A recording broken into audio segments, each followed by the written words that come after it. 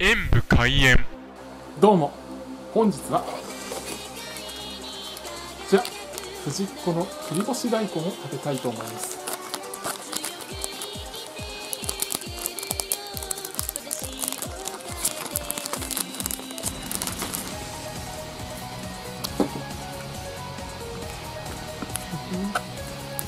こういうのもワイワイいいですよね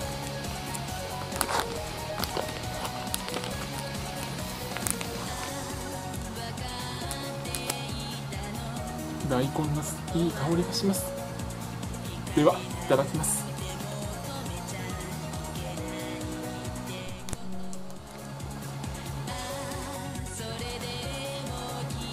大根お揚げしいたけいずれにも出汁がよく染み込んでいてこれでお手軽に食べられるものとしては非常に美味しかったです。しかも体にも良さそうですし。ご視聴ありがとうございました。コメントしていただけると嬉しいです。ソコンおよびスマートフォンのアプリの方はクリックをお願いします。